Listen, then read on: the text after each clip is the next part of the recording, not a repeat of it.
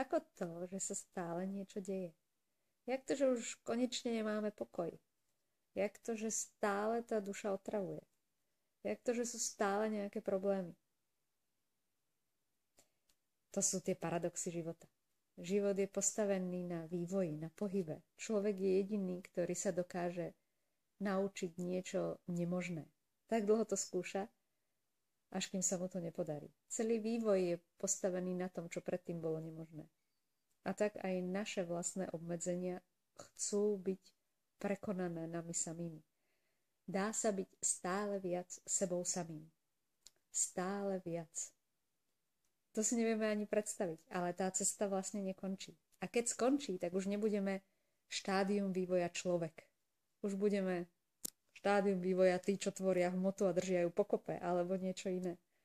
Takže nádej na to, že konečne budeme mať pokoj, môžete zanechať. To je ako dúfať, že budeme jesť tanierov a nikdy ich nemusíme umývať.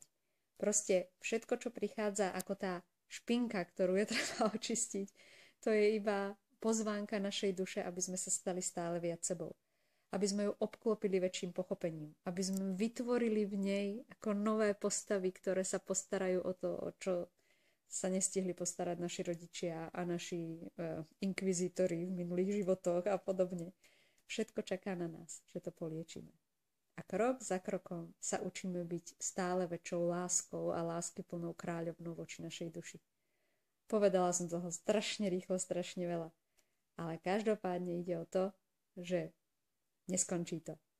A my sa môžeme len učiť si to vzájomne ako nesťažovať a nevyčítať. Ale zaujímať sa, čo riešiš ty, čím žiješ, čo sa tebe deje.